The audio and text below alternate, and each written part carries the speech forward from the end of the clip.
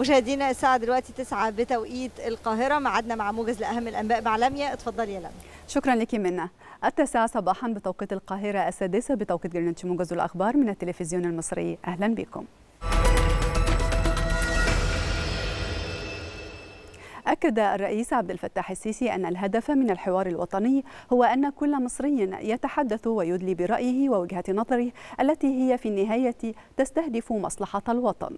وخلال جلسة حوارية ضمن فعاليات المؤتمر الوطني للشباب بالأسكندرية قال الرئيس السيسي إن الحوار الوطني حالة نتمنى أن تستمر. وأشار الرئيس السيسي إلى أنه بعد وجود رغبة في رفع الدعم نهائيا عن المشتقات البترولية تم العدول عن القرار بسبب زيادة سعر الصرف. الصرف مضيفا أن كثيرا من الخدمات التي تقدم والمنتجات التي تستورد تسعر بالجنيه على أساس قيمة الدولار. وأوضح أن هناك مرونة في سعر الصرف داخل مصر لكن عندما يتعارض مع الأمن القومي لمصر ويكون على حساب حياة المصريين هنا نقول لا. كما شدد الرئيس السيسي على أن الدولة المصرية تحتاج إلى تريليوني دولار في السنة حتى تستطيع أن تقدم الخدمات الأساسية للمواطنين.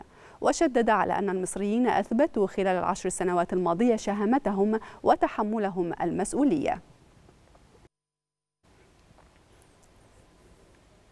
أدانت القوات المسلحة السودانية بأشد العبارات اختطاف واغتيال والي ولاية غرب دارفور خميس عبد الله أبكر. ووصفت أيضا القوات المسلحة السودانية الأمر بالغادر من قبل قوات الدعم السريع.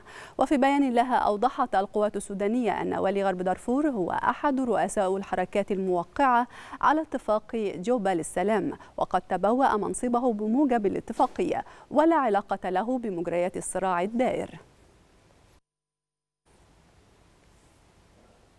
أعلنت أوكرانيا إحراز تقدم تدريجي في هجومها المضاد ضد القوات الروسية فيما وصفته بأنه قتال شديد الضراوة.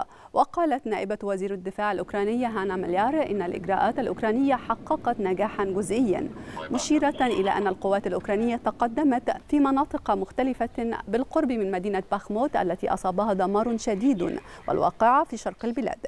كما تقدمت بين 300 و 350 مترا في اتجاه مدينة زابوريجيا جنوب شرق البلاد. درون كيس. درون لطاير أعلن نائب المندوب الروسي لدى الأمم المتحدة ديمتري بوليانسكي أن روسيا ستثير قضية تفجير أنابيب الغاز السيل الشمالي أمام مجلس الأمن الدولي اليوم. وأضاف أن البعثة الروسية الدائمة لدى الأمم المتحدة ستثير خلال مشاورات أعضاء مجلس الأمن الدولي مسألة التحقيق في تفجير السيل الشمالي. هذا وكان خط أنابيب الغاز الروسي السيل الشمالي في بحر البلطيق قد تعرض للتفجير في سبتمبر الماضي. Was carried out in Sumy, resulting in ammonia leak. عقد الرئيس الروسي فلاديمير بوتين اجتماعا مع رئيسة الوكالة الفيدرالية الطبية البيولوجية الروسية. تناول الوضع في محطة كاخوفكا الكهرومائية. وأكدت رئيسة الوكالة الفيدرالية الطبية البيولوجية الروسية أنه لا توجد خلفية إشعاعية مفرطة في محطة كاخوفكا الكهرومائية وأن الوضع تحت السيطرة. وقالت إن المتخصصين في الوكالة الفيدرالية الطبية والبيولوجية في روسيا طوروا العديد من المضادات الجديدة للمواد السامة لصالح الجيش الروسي. مشيرة إلى أنه تم تطوير العديد من الأدوية الجديدة بشكل أساسي للمواد السامة وعقاقير جديدة واقية من الإشعاع وبعض الأدوية التي تكشف أعراض المرض. قدم رئيس بلدية ميامي فرانسيس سواريز ترشحه للانتخابات الرئاسية الأمريكية لينضم بذلك إلى حوالي عشرة مرشحين. يتقدمهم الرئيس السابق دونالد ترامب ويتنافسون على نيل بطاقة الترشيح عن الحزب الجمهوري لهذه الانتخابات والمقررة في نهاية العام المقبل. ووعد سواريز البالغ من العمر 46 عاما أنصاره بإعلانه ترشحه رسميا في خطاب كبير. هذا ويعد سواريز ثالث مرشح في ولاية فلوريدا بعد حاكم الولاية والرئيس السابق دونالد ترامب necessary to ensure that.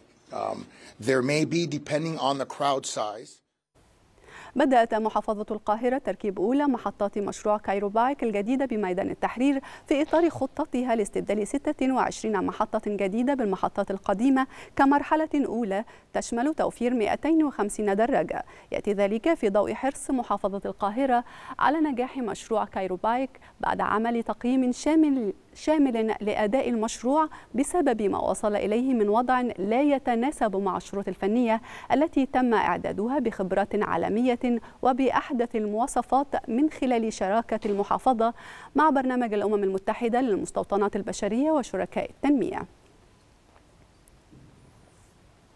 مشاهدينا انتهى موجز التاسعة ونعود لاستكمال باقي فقرات صباح الخير يا مصر بعد الفاصل.